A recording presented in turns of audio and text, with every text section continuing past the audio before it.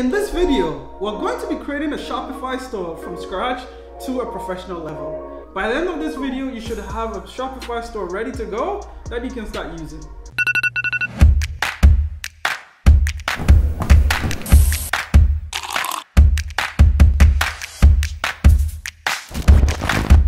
Hey guys, welcome back to the channel. If you're new here, it's your boy Tawheed. I'm a software engineer and a former startup founder based out of Boston.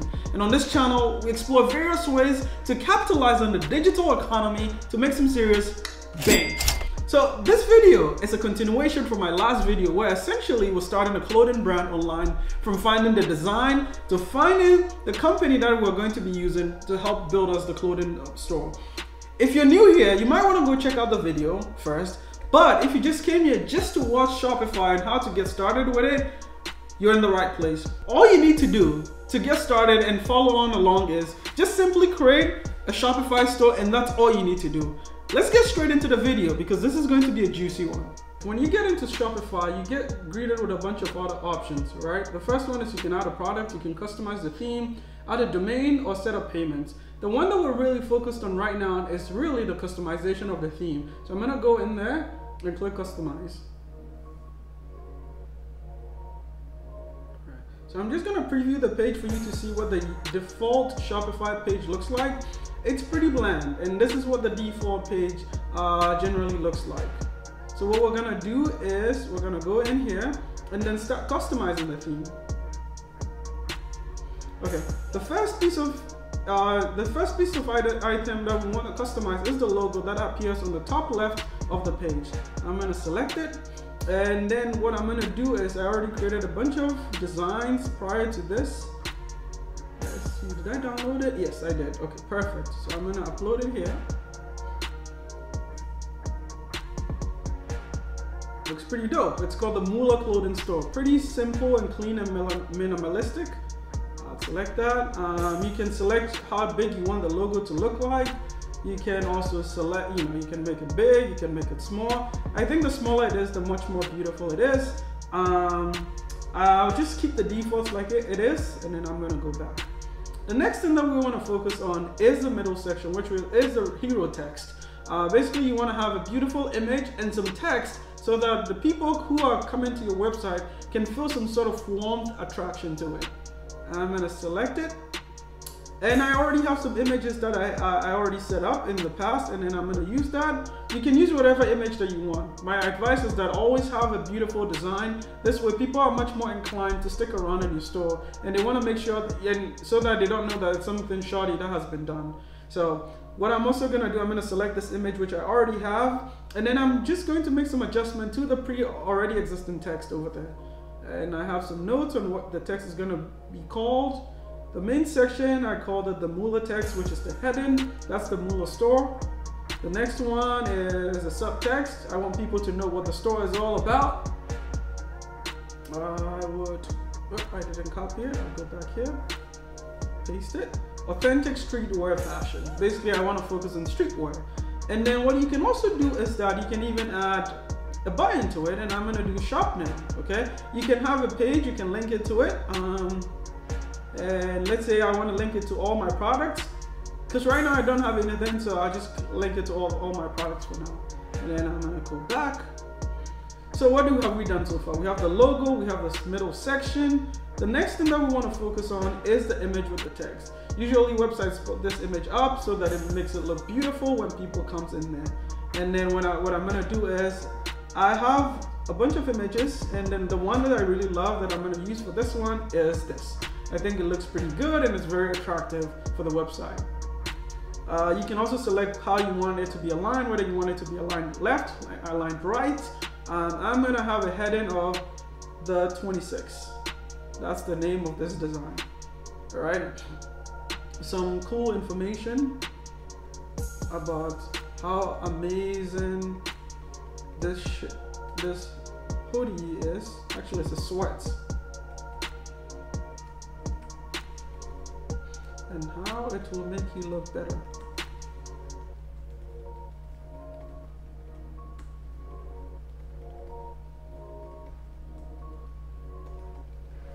Perfect. Uh, as well, you can also add a button. Uh, you can also add a button here and then also a link. I'm just gonna keep it simple and not add anything. One of the things that I also do want to mention was that I can, I'll talk about it in my next video, uh, but basically I used a website called Placeit.net to generate all these logos and all these uh, stock images for me to use on my website. You, you, know, I can make a separate tutorial about that on how to use Placeit. All right, so the next section that we want to focus on building is the text with the column section. So click on that, and we have a bunch of different places that we can put our information on.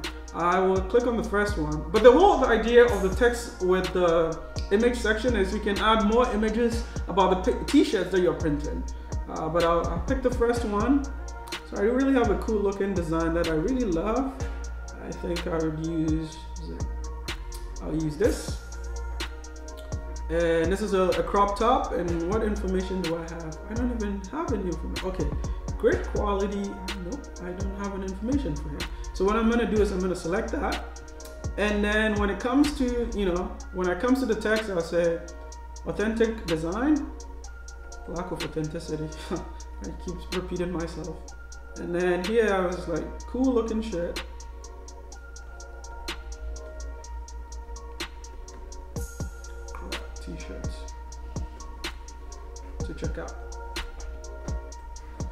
Right, the same idea applies here as well. You can also add a button to this uh, section. I generally don't have a lot of buttons on my page. I usually only put it on really strategic areas to link other people to. So I'm gonna keep that, uh, I'm just gonna keep that. But what I'm gonna do is I'm gonna copy this so that I can paste it on my next one. So the next one as well, same idea. I'm gonna pick another image.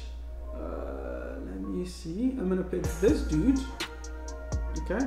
And then I will call it the Lone Star, the Lone Sailor.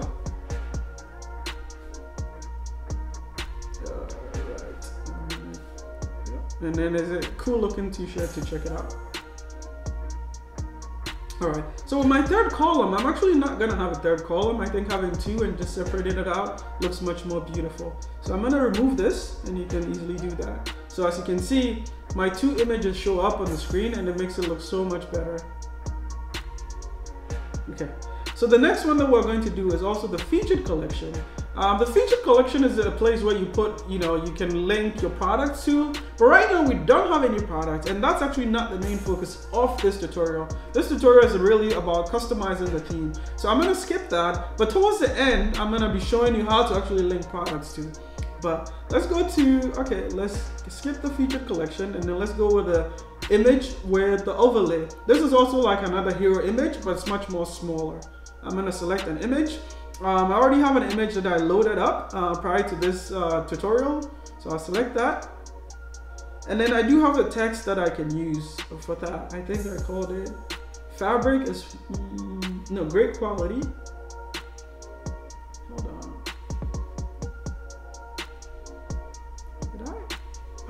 There we go.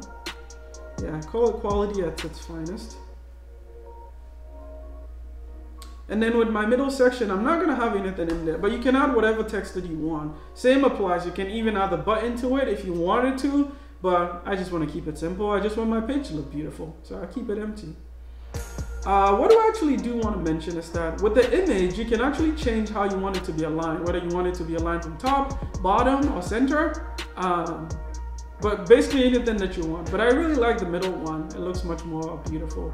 And then also you can either set it to be either full width or fixed width. You can also set the section height to, right now it's currently set at medium, but you can either make this section really large or just create it, you know, really small. Uh, but right now I just want to keep, keep it medium. And let me go back. And this settings actually apply for any custom any custom element on the Shopify theme. And then the testimonial, it's really important to have testimonials on your page because it gives you some credibility uh, when people go to your website to start purchasing from. I already have some pre-baked testimonials and I'm gonna use that. Uh, me copy this guy. I'm gonna copy this one. It was actually a little bit long, so I'm just gonna keep it like this. Paste it here. And then the author was Jack Smith. And then the second one, I had another customer review.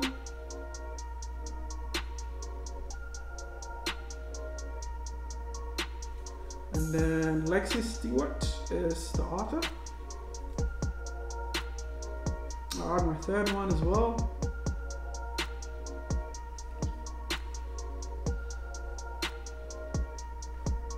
Okay, so now that I have all my testimonials, what I can do is we'll move on to the gallery section. So the gallery section is where you can add more pictures, uh, again, to showcase the beauty about the products that you have. So I'm gonna select the first image. I'm gonna use the collection of images that I have. I really like this one. I'm gonna select it. And again, as, I mentioned, you can either select it to only show the top uh, the middle or the bottom but I like the top you, you, know you have some focus on the image on the person and then you have the picture uh, of the t-shirt as well and again you can also keep uh, you can have a link to it as well. Um, and then I'm gonna go back. What else? I'm gonna select my second image. The second image I'm gonna use what am I gonna use? I'm gonna use this dude. Keep him simple as well. I'm gonna keep you know I'm gonna use the defaults. And then my last one, I'm going to use, I'm gonna use this girl. Select her. I, I want her to be the top. Eh, I want the top so that I can have some focus on the design. So, so right now we have our page. If we do a, a, a quick recap, our Shopify page that we use the default theme is looking much better than we started it with. Um, and what you can actually do is you can even add more sections to it if you wanted to. You can have a blog post, you can have a collection list. On my website, I have a collection list, which essentially is for you know the beauty products that I do have. I also have another collection for my hoodies, and I also have another collection for my t-shirts. But it's up to you, you can have all that. You can even have a slideshow. The more pictures you have, the much more beautiful the website is. So you can even have a slideshow. And then you can also add a map to it. If you had a physical store, you can have a map that you can link to it. Finally, you can also add a video to it as well. Um, if you go to my website, I also have a video which showcases the product. The more images and the more assets that you have on your website really makes it look so much beautiful and makes it very attractive when people go in there. Um, so yeah, it's up to you. You can add as many things as you want. And then at this point, I'm just gonna keep the default and then I'm gonna hit save. And then I'm gonna exit out of my debut theme and then we can preview the store so that we can see the, uh, the progress that we have so far. If you ask me, this is not looking too bad at all. We have our logo to the top left. Uh, we have our middle section, the Mulla store, the authentic streetwear, um, and then we have all these beautiful pictures, which is showcasing some of the designs that we have on our store. You know, we have this one. We also have our, our review section, and then we also have this one that I, you know, this middle, uh, the bottom section that I have in there. Another thing that you can also do when it comes to Shopify is that you can actually add pages. Let's say if you wanted to add an About Us page, let's say you wanted to add your privacy policy, or if you wanted to add a terms and condition um, page to it, it's easy to add that. And you, all you need to do is just click on the pages, and then I'm gonna do that. And then I'm gonna call this the privacy policy. And then I'm gonna copy and paste from this website paste it here. Uh, make sure you change it to have your store information in there. But I'm just gonna keep it the default. There's only one thing that I do wanna just change is the Mulla store. I haven't read it. I don't know whether this is good or not, but again, this is this just gives you an idea of how to set up a page. And then I'm gonna save my page. So now we have a page, but if you go back to the website, the page doesn't show up anywhere because it's not linked to anything, right? So what you need to do is you just go into your navigation. In your navigation, you have your footer and then you have your main menu. The main menu is where you have your home and your catalog, and then your footer section is really where you have I believe it's the search. So I'm gonna leave my privacy stuff over there. Gonna, and then I'm gonna can add a page link to it. Let's see, okay, go to pages. Come on, let's refresh. Make sure that our pages is in there. Menu, privacy, is it pages? There we go, privacy policy. I just needed to refresh it to pick it up. And I'm gonna save the menu. So now if we go back to our page, if we refresh it, we can see that our privacy policy now shows up. And essentially all the stuff that I copied from that website is over here. You can click my logo to go back to the Mulla store. Um, and yeah, it looks really beautiful. You can actually start adding products to it. Um, I don't have any product that I can add right now, but all you can simply do is just add a product um, and then add some more information to it. But what I'm gonna do in my next video is actually, I'm going to be linking it to an on-demand printing company. So the whole idea of this, uh, this series of videos was to actually create an online store where we sell clothing brands. Now we have picked our designs that we really want to work with. We've set up our Shopify store. The next thing that we, we're left to do is find the on-demand printing company, link that back to Shopify so that people can start uh, buying from us. But anyways, I'm gonna cut this video here because I think it's been running on for quite a long time now. Um, if you really enjoyed this video, please leave a like on the video, subscribe to the channel so that other people can see it. Uh, but until then, um, I'll see you in the next video where I talk about how I'm linking my product from my on-demand printing company to the store. Peace.